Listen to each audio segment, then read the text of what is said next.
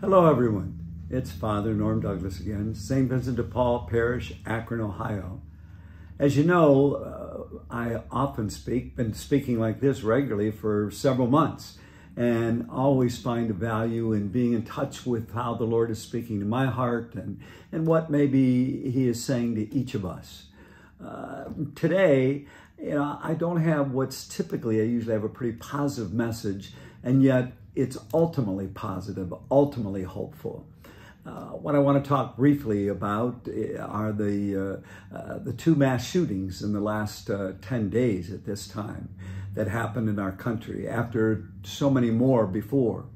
Uh, we do know that on May 14th in Buffalo, New York, a, at a supermarket, which was predominantly in a black community, uh, 10 10 people who were shopping in that supermarket were killed. All were black. Uh, it came to be that the person who did it had racial attitudes and very negativity toward blacks. He himself was, was killed. And then we just heard uh, yesterday, I'm talking this day, 10 days later from May 14th to May 24th.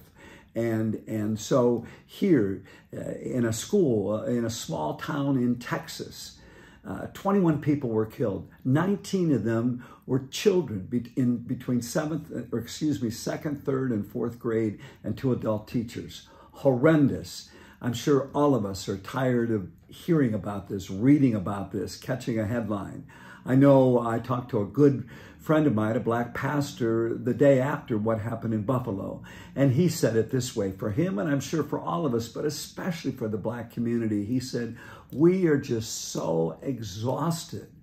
We uh, just, it, it, it, it's still horrendous to, to keep hearing people want to kill us because of the color of our skin and, and, and, just not being able to grasp that and, and being saddened and being fearful for our families in such a situation. And then, uh, obviously, yesterday, the horrible act in a grade school. And I talked to a few parents and teachers today. And of course, they're sickened to their stomach. They're sad. They're confused. Uh, you know, just children, little children, just starting off in life, and and why and somebody would do that and be led to do that.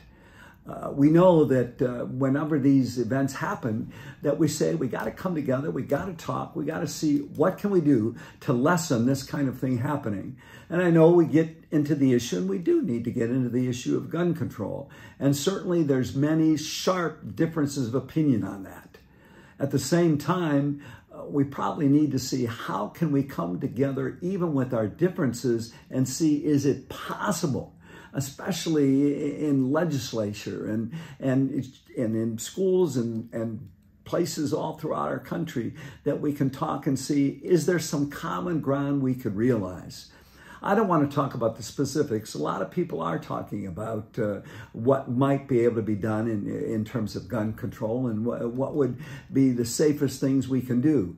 I want to talk briefly about the discussions themselves because too often the discussions, whether it's in family members or, or whether it's in Congress, uh, people start talking about this, yelling, fighting, arguing, not getting anywhere, each coming up with their own point of view.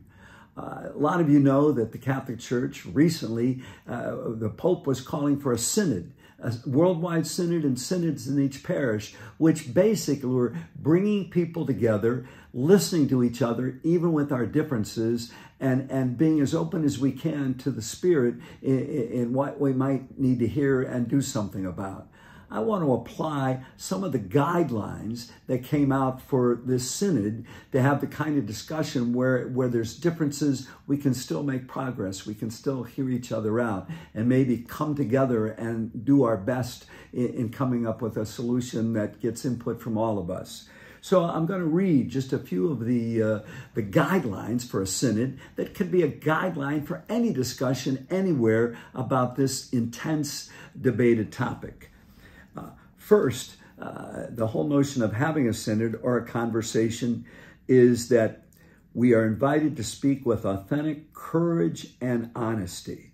And I think both are needed, aren't they? The courage to speak up, whether people see our point of view or not, to, and to speak from a, a, heart of love and, and for those of us of faith, and, and, and certainly uh, uh, to listen and, and, to really want to hear each other. Uh, humility. Wow, this is needs to be talked about more and more in all these conversations. Humility and listening that uh, and and being able to uh, uh, to to say, hey, I see some insights, but but I don't have the whole picture.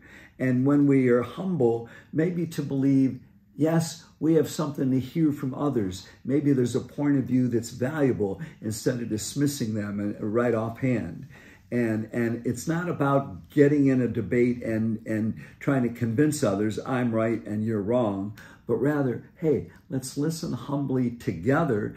And for those of people of faith maybe what's the spirit of a loving God saying in the midst of this? Uh, also that uh, dialogue uh, like this should lead to newness being willing to change our opinions based on what we've heard from others. Maybe there's an insight from them that, you know, I never thought about that. Or maybe I've resisted to that. Or maybe I've simply said, that has nothing to do with this. Do I need to listen again to each other and especially get away from that attitude that I have nothing to learn from anybody else? I'm right. People with me are rightly motivated and, and others are not. Also, with that, an openness to conversion and change we are often resistant for those of us Christian who could believe the Spirit can be talking to us in these conversations, resistant to maybe uh, what the Spirit is asking us to be about, to abandon especially attitudes of complacency and comfort that lead us to make decisions purely on the basis of how things have always been in the past. Just a couple more of these I want to mention. Wow, leaving behind our prejudices and stereotypes. You know, we can be weighed down by them. Uh, to free our minds and hearts from prejudice and that lead us to the wrong, uh, wrong path and toward ignorance and division. Overcoming ideologies. Yeah, we must avoid the risk of grading, giving greater importance to our ideas than the reality of coming together, hearing each other out, and seeing what can we do together to make our world better, to respond to this issue and other issues. Finally, having a, a certain measure of hope. I think in our time today, there can be a certain despair. Ah, we haven't done it. It's not going to help. But you know, we've got to believe if we try if we're open to a spirit of a loving God, a God who can give us wisdom and perspective, that just possibly something good can come out of this. We need to believe that. We need to be beacons of hope and not prophets of doom. And, and with that attitude, uh, saying, hey, God, you are here and you can, you are at work but you work in us and through us. We're called to do our part to partner with you in making the world more the way you want it to be, beginning with these kind of heartfelt conversations that are done in, in loving ways. God bless you in any of the conversations you have. God bless our nation.